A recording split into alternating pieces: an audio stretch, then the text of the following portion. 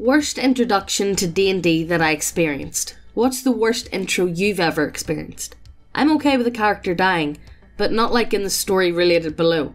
DM screws the pooch. 92 or 93. First time ever playing D&D. My friend had me roll up a character. Got outfitted and whatnot. DM, friend, had me leave town. I encountered a giant on the road. Yay, random encounter. DM asked, What do you do? I attacked. Natural 20. Roll again. Natural 20. Roll again. Natural 20. Of course. Yeah. We all stood up and clapped. Killed the giant, and then the hand of God reaches down and crushes my character. Fucker couldn't figure out how to do a quest giver encounter. So once I killed the quest giver, he killed my character. I didn't get back into D&D until 2 years ago due to that first time. I don't know. I think that, like you know, a lot of the time, whenever it's people's first time experiencing it, generally speaking, they're going to be playing with like new DMs as well. So like, No, not really. eh, Some- sometimes it depends. It depends. Like you know, and I feel like you know, if it's a new DM, they don't really know what they're doing either all Yeah, that much. But I smell So- bullshit in the three natural 20s, just saying. yeah, I suppose it's kind of hard. Smell it. all right, next post. Worst intro I had, the DM in charge never read the monster manual. So when it came to setting hit point totals, he opted to go with what he knew. The problem was, what he knew was Final Fantasy. Oh my god. Oh my god. oh my god, that's quality. That's that's that's that's funny. That's honestly that that is funny. So our early game boss fight had an enemy with hit points into triple digits, while the rest of us couldn't breach past single digit attacks unless we got a crit. Oh, Oh, I don't I, I don't even have words. I go, I don't have I- words. I'm sorry, mate, but like, see, if you want to be a DM, you go, you go. It's a, it, is, it is a bit of a must to at least lead the monster data slates. You know what I mean? Just just just check them out. Yeah. You know what I mean? It's it is important. You know, maybe something to check out. I don't know. I played in a level 10 3.5 edition game in college, where the DM wanted to combine elements of two different monsters. He has no idea what he's doing, so he just added every single one of their stats together and called it a day. I, I honestly, there's something almost endearing about that. like, tell me that it's like, tell me it's not a, it's a wee bit endearing. You know, it's like, oh, it'll be okay. Don't worry. He's an adorable little. You know what I mean? Don't worry about Leave him. him be. Leave him be. He's having fun. My first time playing was when a girl who liked me got me into your group. The DM had a huge crush on her. Me and the girl spent a couple of hours making my character about a week before the campaign started, but in the downtime she told me her feelings. I was taken at the same time, so I told her no. She then told the DM to kill me the first chance he got. Fast forward to the first session. We wake up in a cave, and a rock falls on my head and kills me. What the fuck? why, why would you even bother going through with even showing up? Uh, like, you know, like, I'm sorry. Just because he has a girlfriend and she and he didn't want to go with her, he's like, kill him. Is this like Kill a him and I'll Is, suck your dick. Is this like a Cersei and Jaime Lannister Yeah, moment? one, yeah, it is. Jaime, finish him. you know what I mean? Like, Yeah. oh god, I don't know. Like, like, like, all I'm saying is, at least you managed to get out of some horrible lot of goal play scenes. Yeah. Just saying. And can you imagine? Somebody replied there saying two billets dog, shitty game, shitty girl. yeah, honestly, that's spot on. That's spot on. It was probably the best thing that could have happened for you. My first time was the ever so ironic. Someone tried to suggest the dragon. I've never experienced that. No. I'm kind of happy. Yeah, so am I. I'm happy I've never came across that. A guy at our table who joined in, this was a club at college at the time, always had the trail of any female, of a monstrous race especially, that is creepily obsessed with monster girls. He met, would ask them to bear his children. oh my god. That's a nice way. Will you take my seed? So our DM had us start going into a dragon's den. Not any normal one though, because this one had multiple colours working there. And we were to find a dragon egg while the army distracted the dragons because the king wanted it for some ritual. That's not evil at all. No, that, sure that, doesn't. that should not be like an alarm bells at any second. Oh no, it's just like a wee blood ritual, you just know. need a dragon's egg egg. sacrifice. Don't worry, Lol. everything normal, guys. Don't worry, you know. We sneak in and there's only one dragon. A sleeping ancient red dragon to be precise. Cue the dude waking it up while we were trying to sneak around it because it was female. Female oh, Femur! Where my pee pee go? oh my god, this boy's been watching too much Shrek. So, oh, fuck yeah. He rolls a natural 20. Of course he does. DM handled it well. It was flustered and surprised, but that's it. And it said it wouldn't kill us for that. At least not immediately. We learned that apparently she had gone barren, or whatever that term is, and can't have any more children, and actually has no eggs, only a single child with a malformed wing. I offered to heal her child's wing, level 1 cleric and Pathfinder, a cleric of Sarenrae, the goddess of redemption. She said if I could, we could live. I tried once, no effect. Twice, no effect. I then tried praying to my god, again to heal the child of a chaotic evil creature. Rolled a natural 20. Of course you did. Why does everybody on Reddit roll natural 20s? I know, I know. Like, like, like, I'm, I'm, I'm almost getting a bit point. I'm getting to the point where I'm kind of tired of the meme. If you go a one, you embarrass yourself. If you go a twenty, you automatically break the rules of uh, break, Physics, break yeah. the rules of physics entirely, and everyone got up and clapped at the end. Yeah, exactly. Rolled a natural 20 on the divine intervention roll. Not the actual ability of it existed, just to see if my god would even help. And then an 18 on the next check, and it healed somehow. She then proceeded to let us leave, and we saw the chromatic horde of dragons, easily a few dozen, turn the human country into glass, in fact, elementals, charged glass that would kill us if we touched it. We left, and a few sessions later, she showed up again, saying that she was interested in my character for everything I did and wanted to come with me. We were level 1, so we couldn't exactly say no. Fucking level 1 and you bring a fucking dragon with you, beast. so I got the involuntary dragon waifu. Turns out her horde was family, and she could somehow control other dragons that were pining for her favour. After that campaign came to a halt, I learned from the DM like a year later that she was the real big bad evil guy, and that she wanted to use an ancient magic that the other alchemist big bad evil guy was going to use to become a being beyond God to turn everyone. There's no spaces. Just keep going. a being beyond God to turn everyone on the continent into dragonkin, including me. So it may not be a single session, but yeah, my first time came from a that guy trying to seduce a dragon, and to me somehow getting the real big bad evil guy to fall in love with, or at least be amused by my character, and have it follow us around all campaign. I pulled a reverse bard. The dragon was trying to seduce me. hey, not bad. Not bad. Honestly, I'll give the DM credit that he rolled with it and just kept going. And, you know, he, he was willing to work with that and mm-hmm. change things as they went. Yeah. You know, a lot of DMs would be like, no, this is not happening. It's doing this instead, and that's that. Yeah. You know, um, I, I, I, I almost feel bad, though, that he actually did put in fucking wifey beat, though, at the same time. Yeah. Is he forgiven? Is he not? I don't know. You decide down below. Let us know. Next time on Neck Neckbeardia. Never mind, actually, we're going to the next post. Hey guys, this is just a quick bit of promo. We got our website up and running and we have a massive restock on most of the models. However, one of the cool things about the website is if there's a model that you're waiting on, you can enter your email and be put on a waiting list. And it's not just good for you, so then you'll know when they're restocked. We can also see what you guys are waiting on and what we should be printing. so, either way, the models are by far the best way to support this channel and to help us do videos that YouTube would find inappropriate on the platform. And like, let's be serious, the models are pretty beast looking. So, once again, just look at the titties. Look at the lizard titties. but anyway, let's continue on with the video. Worst intro I had was the first time I ever played the game. My DM was a sleazy asshole who took advantage of me being new. He took control of my character, had her buy out the local brothel, made her grow a dick. How does that even happen? How does that even happen? Who actually said, I, I, I will this cock into being? You know what I mean? The hands on temple. I just focus really hard. And it's just like, oh. Does that? Okay, never mind. made her keep grow a dick and impregnate every girl working there while I sat by and couldn't do anything. This guy's got a major fit of. Uh, Once I took back control of my character, I made her commit suicide and kicked the DM out of my apartment.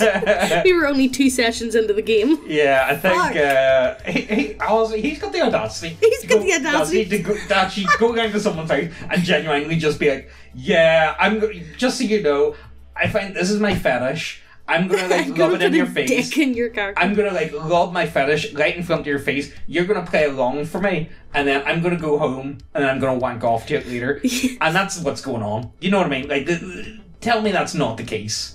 Like, you know, Yeah. that's what gets me when it comes. Like, I, that's what gets me with the whole like m- vast, vast majority of like a lot of role play shit like that. It's like the only reason why people are putting this in is just so they can.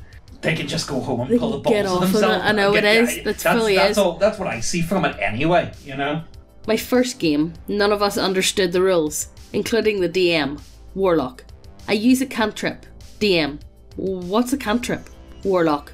I'm not sure. I'll just use five daggers instead. we really didn't understand the oh, rules. I, I love the idea of that. The plus five D attack will be like, no, I've got, I've got five use five daggers. Oh, that's quality. That's actually that, that's again that's almost endearing. You know, it Yeah. actually is almost adorable. Yeah. that they got it so long, but I hope they enjoyed it. Everybody like, needs to learn somewhere. You know exactly, exactly. Everyone needs to learn. It's like whenever you're behind like learner drivers and they stall the car, it's like, look, Ah, it's leave alright. them be. Yeah, no, they let need them- to learn. let, let them have a bit of fun. It's fine. You know what I mean? I think that's one of the worst things you get a lot of the time. Like people like, they don't have time like you know, for you- people who want to play the game. Yeah, exactly. And then there's people who've probably been playing for years and like, oh my god, just Oh, play. just, just learn what you're doing already. And it's like, how, how do you expect anybody new to join games I think- I- or be interested in D&D if nobody's willing to teach them? Because you can read as many books Yeah, as you yeah. want, you can watch as many videos as you want, but you do not know how to play that shit until you're sitting at a table. Yeah, pretty much. I yeah, completely agree with that. Um, I still have trouble sometimes. yeah, exactly. I'm You sitting know- and I'm like, what do I roll?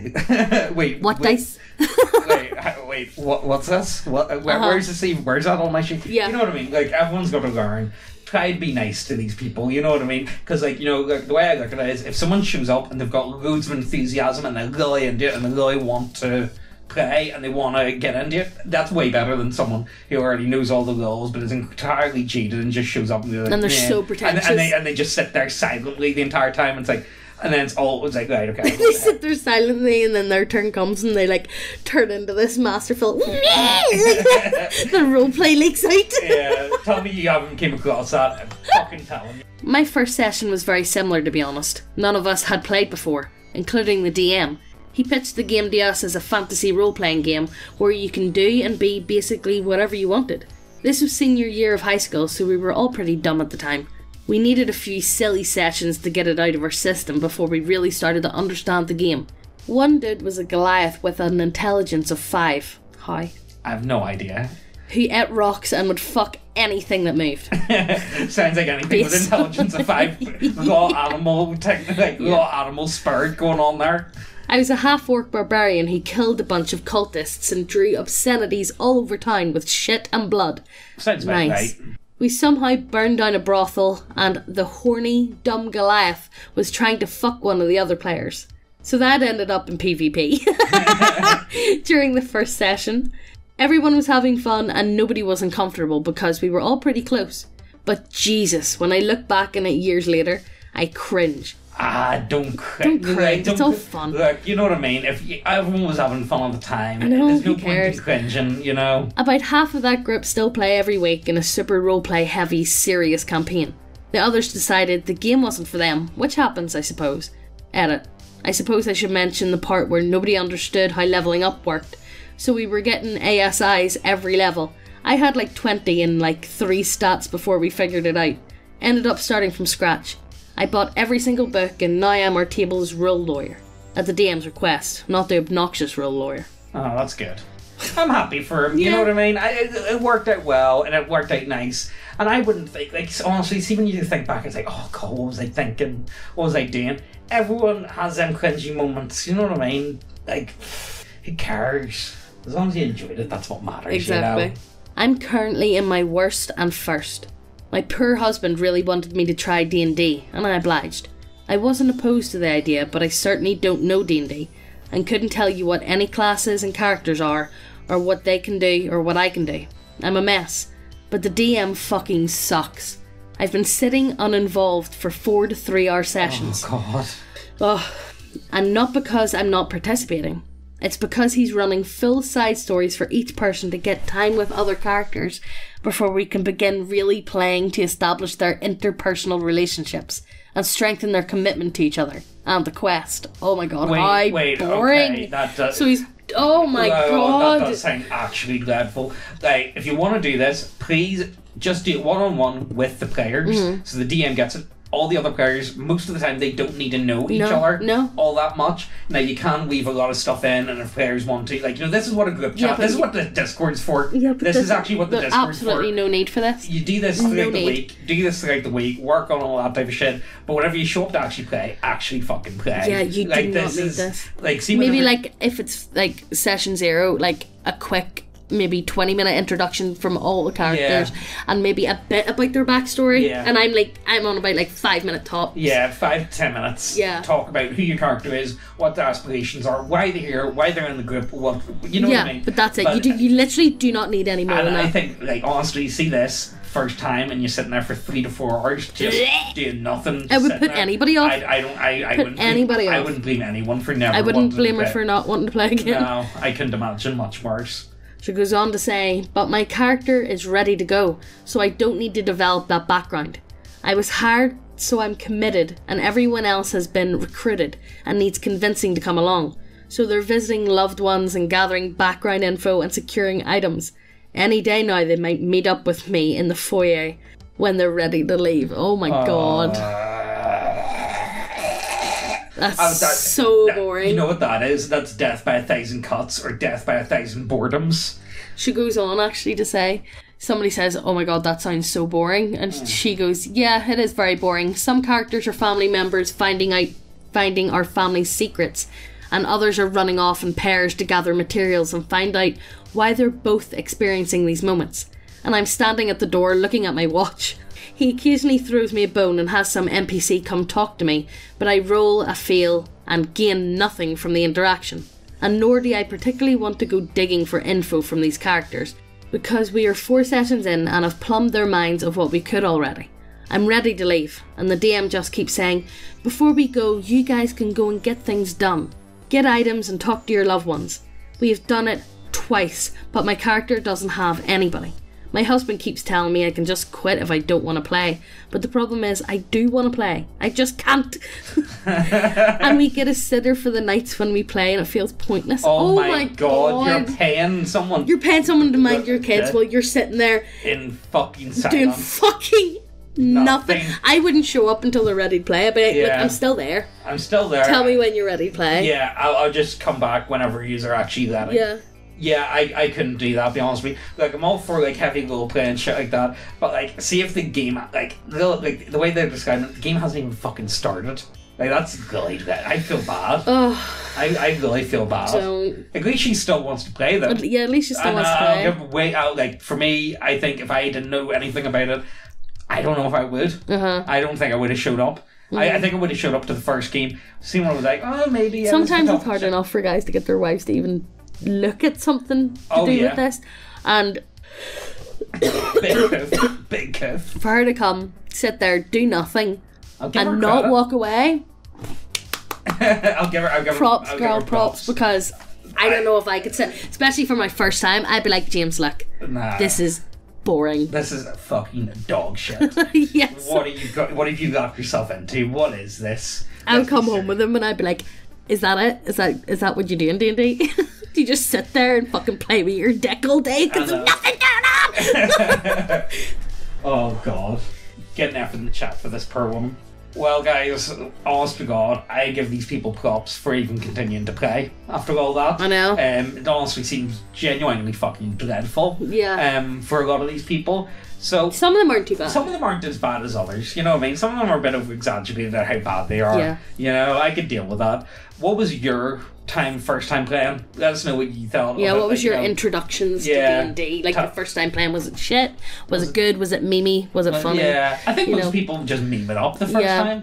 Especially if you're playing with a load of people who actually don't know what they're doing. Like they all just fuck dice at each other. Yeah, like, like, see what happens. You know what I mean? Just uh, just a wee fuck about. You know what I mean? But I think a lot of people need that anyway. Yeah. You know, to be able to get a taste for it. yeah, exactly. You know, and you don't really know what you're doing. And let's be honest, but even when people do know what they're doing, the highlights fucking porn acting when it really comes to playing. Yeah. Like, let's be honest. Yeah, oh, no, it oh, uh, you know what I mean? Yeah. It, is, it is porn tier level acting. no, a lot of people. yeah, it is. So, like, you know, like, you know what? I, never mind. Never mind. But let us know down below what your experience, your first experiences were, and We might do a video on Yeah. it if we get enough good ones. and check out all the links. Check out the advert; it really helps us out. Yeah, the models do. Also, we've got that Simp Warlock subclass. It's going to be up for sale very soon. It's only going to be a pound. So something to check out. Something to check out. You're the patron of the uh, the ethereal thought. Oh, Ooh, you guys Oh. will love it. Anyway, hope you guys enjoyed, and we'll see you next time. bye.